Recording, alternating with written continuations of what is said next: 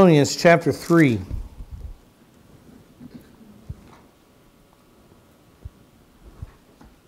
Starting in verse 6, let's read a few verses to get back into this. Verse 6 says, 2 Thessalonians chapter 3 verse 6. Now we command you, brethren, in the name of the Lord Jesus Christ, that you keep away from every brother who leads an unruly life, and not according to the tradition which you received from us. Uh, the word quickly from last week, because it's, it's a very strong command here uh, not that it's a command can be any stronger. What I mean by that is, what a thing to ask a Christian to stay away and avoid another Christian. And that's exactly what he just did. By in the name, in, by everything that Jesus Christ is, we command you to follow this command. Steer clear of the word stello in the Greek. Keep away from, steer clear from, or to place oneself away from. It also means to purposely avoid association with someone. Paul is telling them there are people in your midst living this way. They're a bad influence for you. I've already warned them, as we saw last time.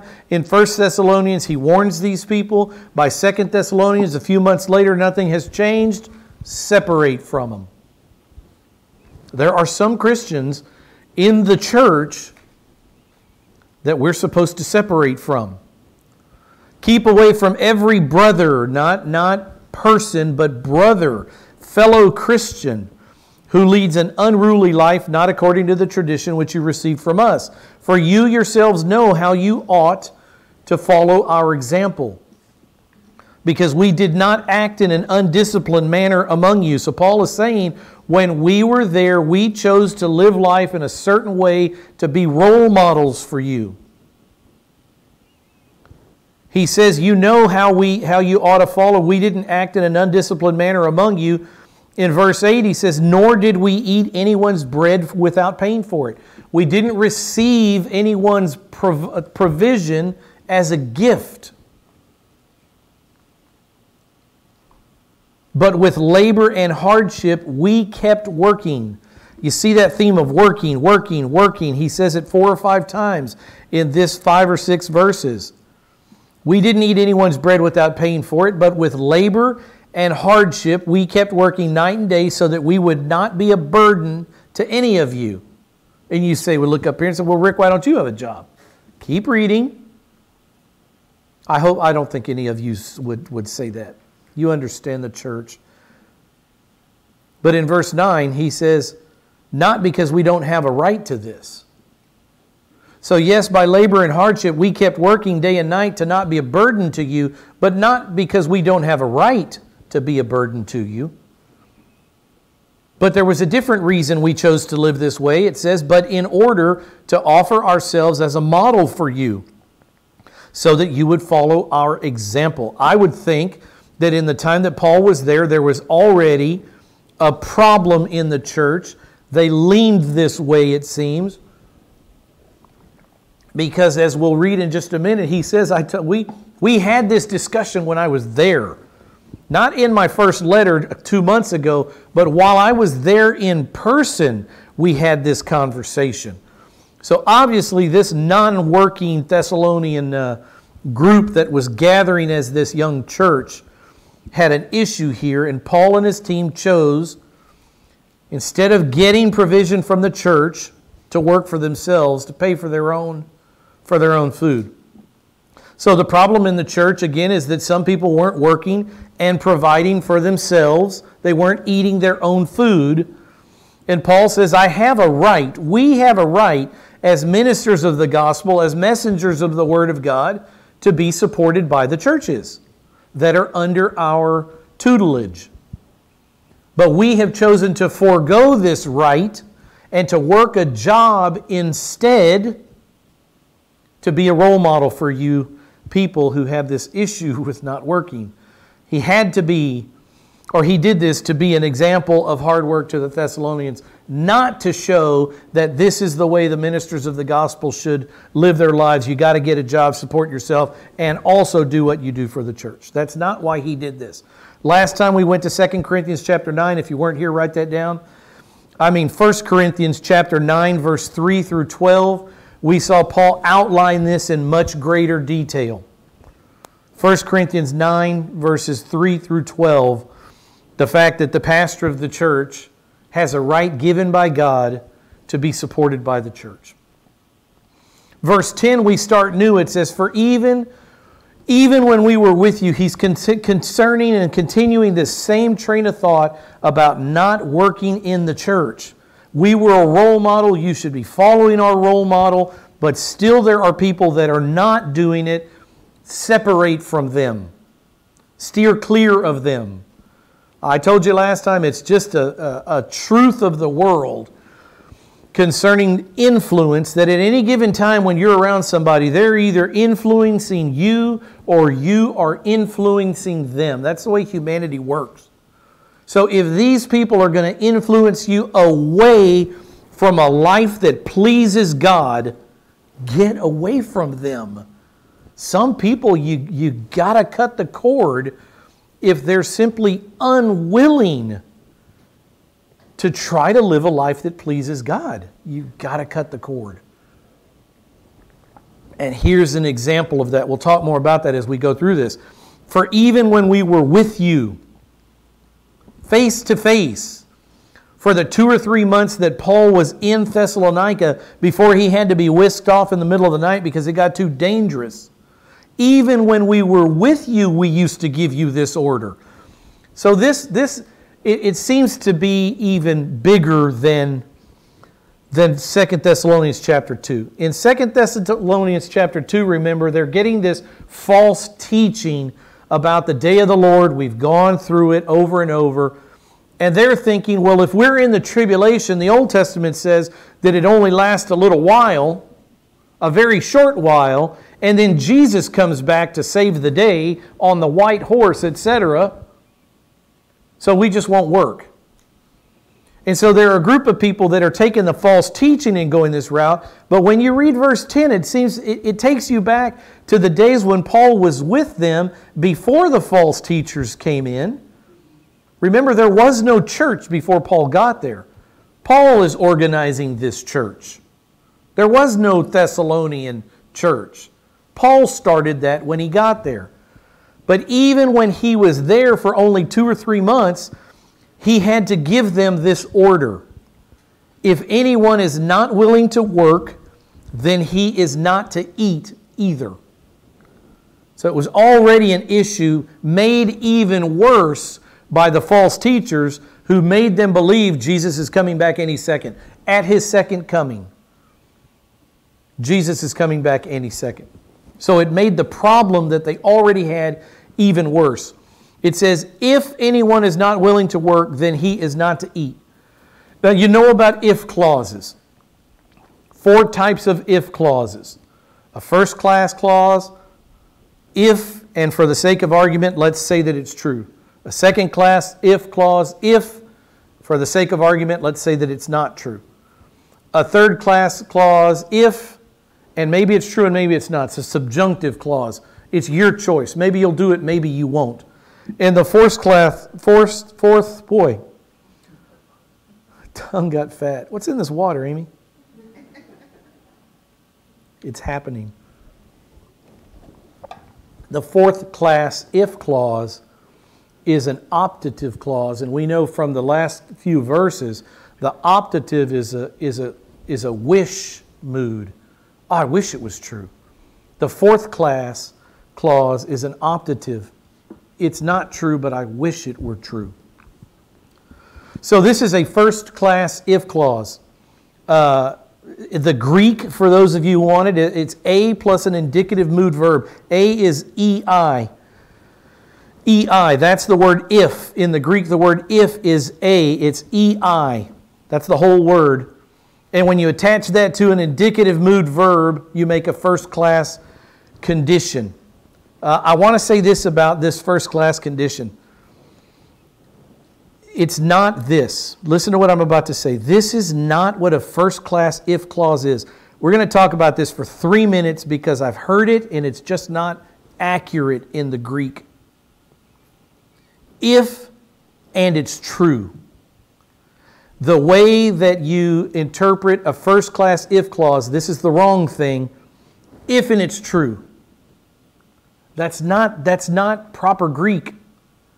A first class if clause says if, and let's consider that it's true for the sake of the argument that we're making, okay?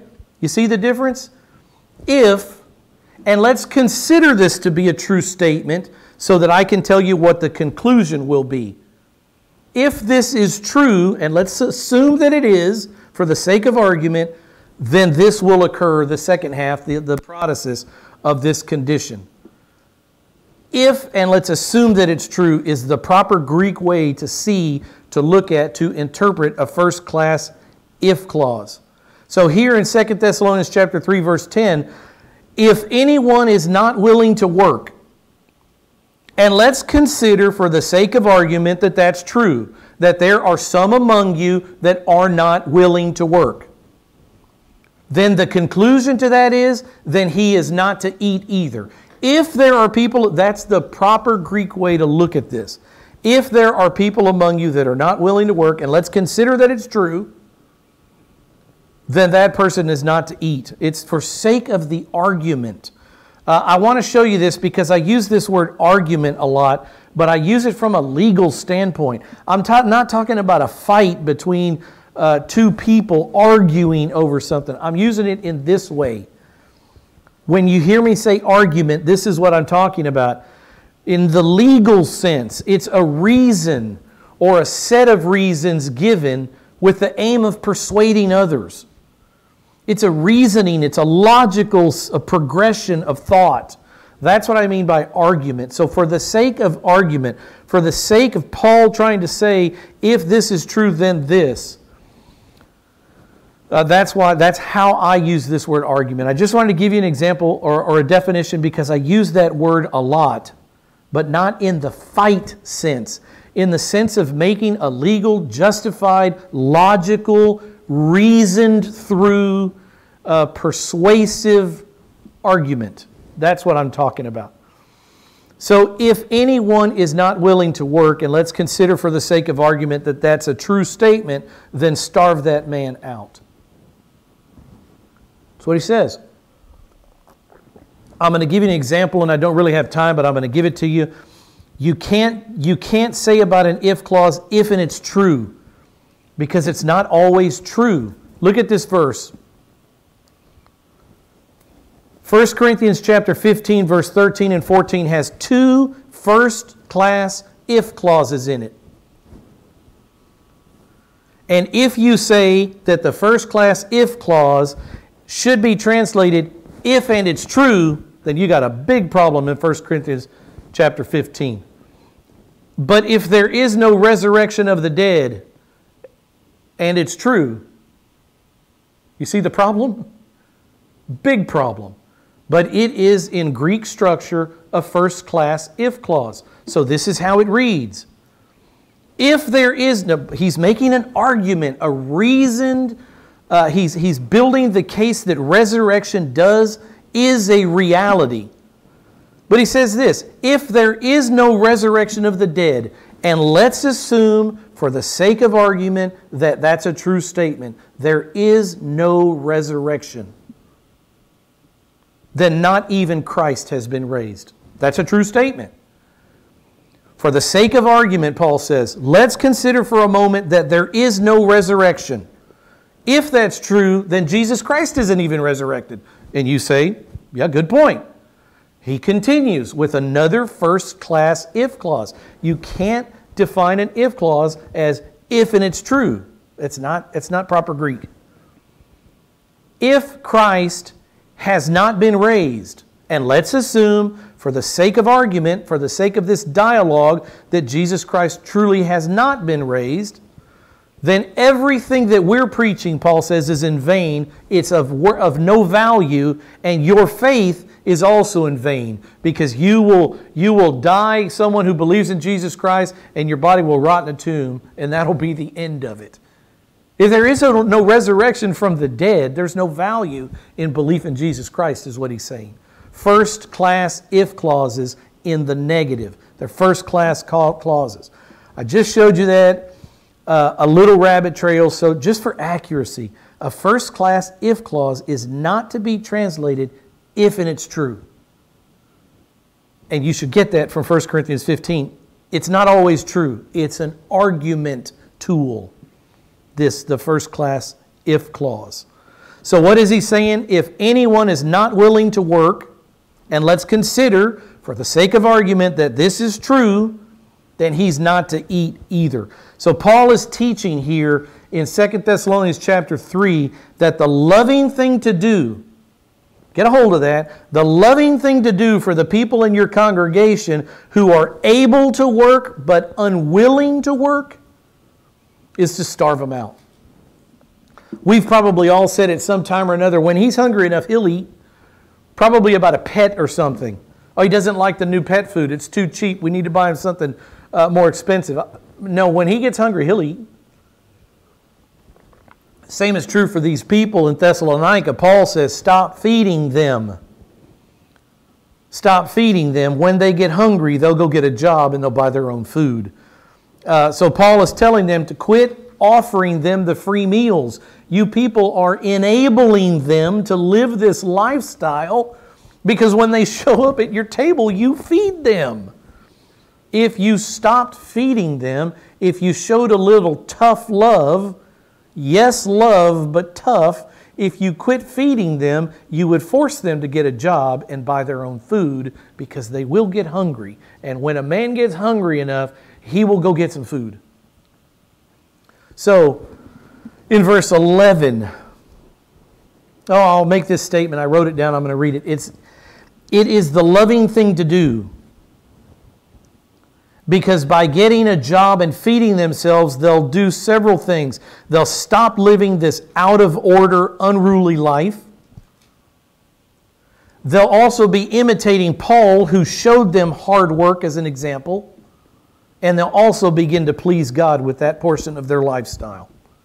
When they come over for the free meal because they're unwilling to work and earn their own food, it's unpleasing to God. Do the loving thing cut them off, they will eventually go get their own job and find food, and that will be a more pleasing life before God that they're willing. So the question has to be asked are you really doing the loving thing by enabling someone to live a life that's not pleasing to God? Paul's telling these people, I told you when I was there, if people are unwilling to work, then they should not eat. Stop feeding them is the, is the logical uh, takeaway from that. Verse 11 says, For we hear that some among you, he says this again, he's already said it, he knows they're there.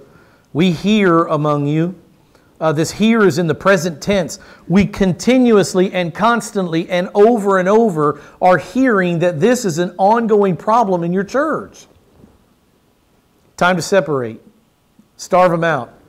For we hear over and over that some among you are leading, not, not all, but some, are leading an undisciplined life, doing no work at all, but instead acting like busybodies. We know what a busybody is. It's a, a good translation to the English. It's the word, uh, look at that, look at that Greek word, periergazomai. That's one of the big ones, periergazomai. It means to be a busybody, but to put a, a finer point on it, it means to be intrusively busy, intruding in other people's lives. To intrusively, enthus- in, uh, intrusively enthusiastic about offering help or advice. This isn't saying that a parent can't talk to a child or a friend can't talk to a friend. This is a category of busybody in Thessalonica. They're instead of using their time productively and working, making a living for themselves, they've got all the time on the hands, they've got all the time in the world on their hands, and they're getting into other people's business instead of business of their own. So, again, back up for a moment. Why were they doing this?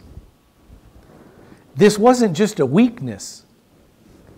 this busybody, non working busybody lifestyle, uh, interfering in other people's personal business lifestyle, came about because of bad Bible teaching. It was biblical error. There were false teachers who had come along and had convinced some of this church that they were in the day of the Lord judgment. Look at it all in context. You're in the day of the Lord judgment period, a tribulation period. It's a very short period. And Jesus comes back at the end of that at the Battle of Armageddon to save the day. So, based on bad Bible teaching, they had quit their jobs and they're waiting for Jesus. Bad Bible teaching. That's why they were doing this. Yes, I think from verse 10 they had a some had a propensity to this. They had a lazy streak in them, and now they had an excuse. Jesus is coming back. I'm not I'm really not going to go to work now.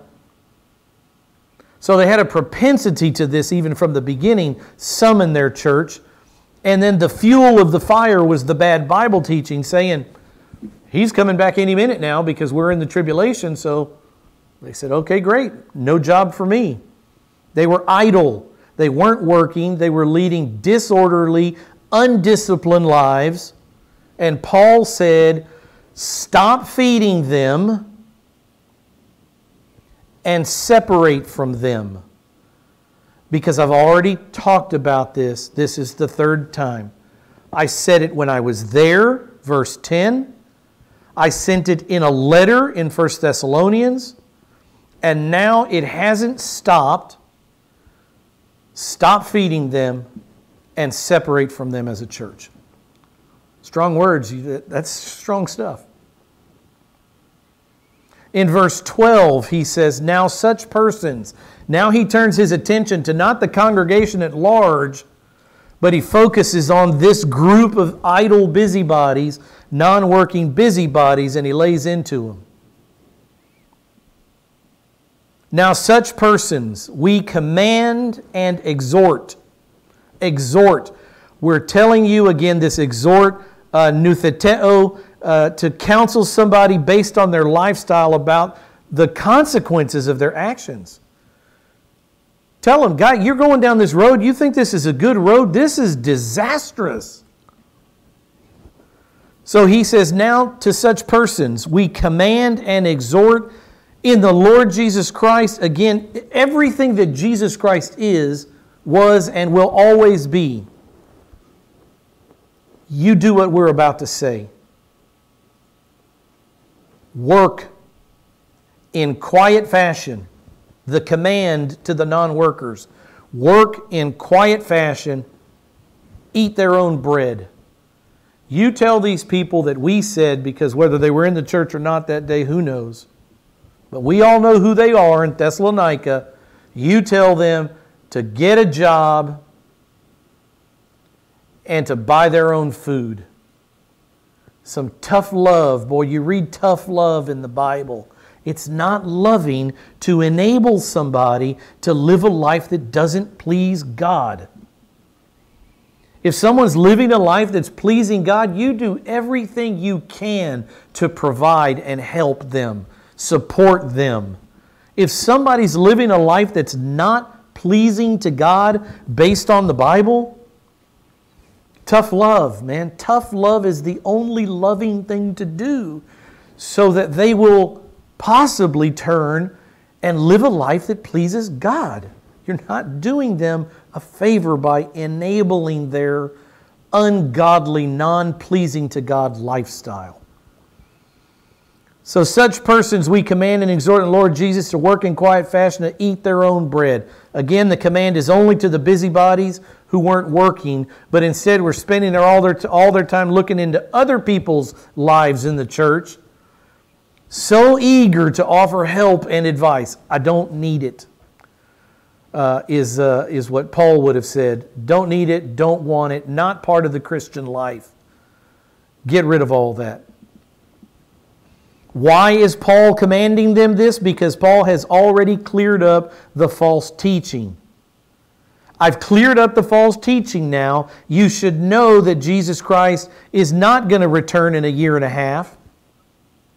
He could return at any moment at the rapture, but we're not guaranteed that because you're in this day of the Lord tribulation period. Untrue. The false teachers lied to you, and Paul has already cleared that up. You're not in that period of history, so you don't know when Jesus is coming back. Get a job. Get a job. It says here, work in quiet fashion. It means to, to be in an untroubled state, free from disturbances. Work in an untroubled state, free from disturbances, especially free from noise and uproar. Live a quiet and peaceable life, it says in 2 Timothy chapter 1. That's what's, what's pleasing to God, that you lead a quiet and peaceable life. Live a life in an untroubled state, free from disturbances that are your own doing. Don't add to your own problems, create self induced misery. Get a job. Work in an untroubled state, free from disturbances, and also with this job, provide for yourselves Buy your own food. What does it say here? And eat. In the Greek, it actually says, work in quiet fashion and eat. And that's all it says. It doesn't say their own bread, it just says eat. Esthio is the Greek word, E S T H I O, and it means to take in food. The, the, the reference here obviously is to eat your own food. If you have a job and you eat, that means you're getting paid and you can provide for yourself. So you have to understand the context to be able to define what eat means. And obviously, here it means eat your own bread, not other people's bread, like Paul did when he was there. Didn't accept other people's bread as a gift, he paid for it, paid his own way. A slide, and we're done. Four things here. Number one, all of us are to look out for those leading an undisciplined, disorderly, out of order kind of life and warn them. Nutheteo, the word for exhort, warned them of the disastrous consequences of their actions and to keep away from them. Warn them and separate. This is the road that you're on. This is what God says through the Apostle Paul is the right way to be living. And when you're willing to do that, we can, uh, we can be in fellowship one with the other again. But until then, that one bad apple, son, you're going to ruin the whole church. Paul knew it, and he said, Get them out, separate from them. Number two, Paul's disciplined life was an example to be followed by the church. We see it two or three times in these five or six verses do as we did, imitate us, mimeo, uh, this word for mimic. Number three, work for a living if you are able. Work for a living if you're able. And number four, stay out of other people's personal business. Again, this isn't, this, don't take that overboard uh, and, and say that a friend can't talk to a friend. Uh, that's not what this is saying. It's in context to a certain group of people with a certain problem. So stay out of other people's business. And there is one more. I hope you're using the Bible properly as a measuring tool for your own life. This isn't just to look around at everybody, oh, she's a busybody, he's a busybody. What about you? The Bible is between you and God. It's a very, very personal book. Uh, the Bible is called the canon of Scripture. The word canon is the Greek word kanon, K A N O N, and it means a measuring stick. It's the, it's the measuring stick that everything else is supposed to be measured by. That's what this Bible is. So I would say, in closing, you're abusing the Bible if you think it's just a tool for measuring everybody else and all of their problems. Jesus in Luke chapter 6, verse 41. Why do you look at the speck that's in your brother's eye? Jesus. He doesn't say here, don't judge. He gives a proper way to do this. If you're going to evaluate somebody else, you better make sure you're clean first. Why do you look at the speck, this tiny little particle? Uh, a woodworker, Jesus would understand getting specks in your eye. Why do you look at the speck that's in your brother's eye, but you don't notice the log that's in your own eye? Your brother has a splinter in his eye he's having trouble with. And we're not talking about a physical splinter here, we're talking about a sin pattern. Why are you picking on your brother's sin patterns that's the equivalent of a little bitty speck in the eye, but your sin pattern in the same area is like a log sticking out of your face. It's so easy to look. We're all guilty of it. It's so easy to look outside yourself and see how Brother Russ is all messed up. It's just so easy, isn't it? And, and we're looking through the, and, and the world knows what we're doing. The world sees our hypocrisy. It's only us that only ourselves are blind to this. Everybody else knows. Or how can you say to your brother, Brother, let me take that speck out that's in your eye? I can help. I have the words of truth, word of wisdom here and there, when you yourself do not see the log that's in your own eye. You hypocrite, Jesus says. First, take the log out of your own eye, and then Go evaluate your brother. And then take the law, or, or, then you will see clearly to take the speck out that's in your brother's eye. Jesus doesn't say, don't evaluate anyone. Live privately, the privacy of the priesthood. Live in your own little cocoon. That's not what he says at all. He just says, use the Bible for what it's for. Find out what your problems are according to the Word of God. Don't overlook your sinful shortcomings like a hypocrite. Know who you are, take care of your own problem, and then engage your brother to help him. And then go engage your brother now that you can see clearly in a state of fellowship and to help him take the speck that in, that's uh, in his eye out. Please join us tonight at 6:30. We're not going to have a teaching session at all. We'll open in prayer. Bring a sack lunch if you hadn't eaten already. Um, we're just going to play games. We're going to do what John Adams said. He says the, it ought to be solemnized with pomp and parade, with shows, games, sports, guns, bells, bonfires, illuminations from one end of this continent to the other from this time forward forevermore.